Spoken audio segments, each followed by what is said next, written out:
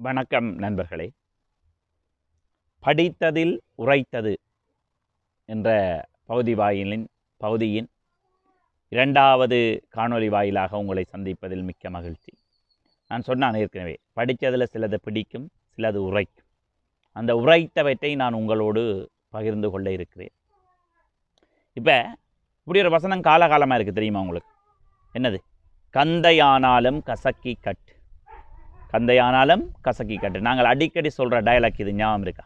ம்? எப்படி? யாரை பார்த்து சொல்லுவோம்? யாராவது இளப்பாலைகள் கஷ்டப்பட்டதுகளண்டா ஒரே வீட்டில் கஷ்டம்னு சொன்னால் சிஜி கஷ்டம்னு சொல்லக்கூடாது. ஆ? வறுமையிலையும் செம்மையாக இருக்க வேணும். கஷ்டம்னு சொல்லக்கூடாது. கந்தையானாலும் கசக்கி கட்ட வேணும் என்று வகுப்படுப்போம் நாங்கள். உண்மையில் இது சரியா?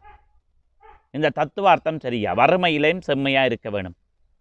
என்று நாங்கள் கஷ்டப்பட்டதுகளை எல்லாம் பார்த்து சொல்கிறோம் தானே. இது யதார்த்தத்துக்கு சரி வருமா ஒரு புது கவிஞன் இந்த கோட்பாட்டை உடைச்சு விட்டான். படித்தோன்னே நான் நொறுங்கி போனேன். அவன் கேட்டான் இப்படி எழுதியிருந்தான் கந்தையானாலும் கசக்கி கட்டு. கந்தையானாலும் கசக்கி கட்டு. ஆனால் காயம் பெற எதை கட்டுவது? என்று கேட்டான். எவ்வளவு யதார்த்தமான எவ்வளவு உண்மையான கேள்வி சொல்லுங்க கந்தையானாலும் கசக்கி கட்ட வேண்டும் தான். பழைய ஆடை. கந்தை என்றால் பழைய ஆடை.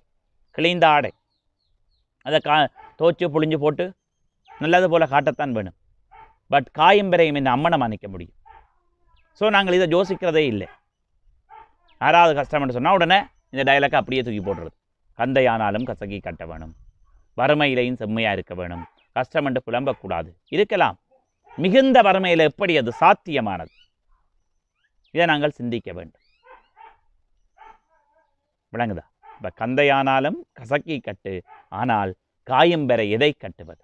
ஒரு அருமையான சிந்தனையை என்ற மனதில் ரொம்ப உரைத்த ஒரு வரி இது. இதை உங்களோடு பகிர்ந்து கொண்டதில் மிக்க மகிழ்ச்சி அடைகிறேன். நன்றி வணக்கம்.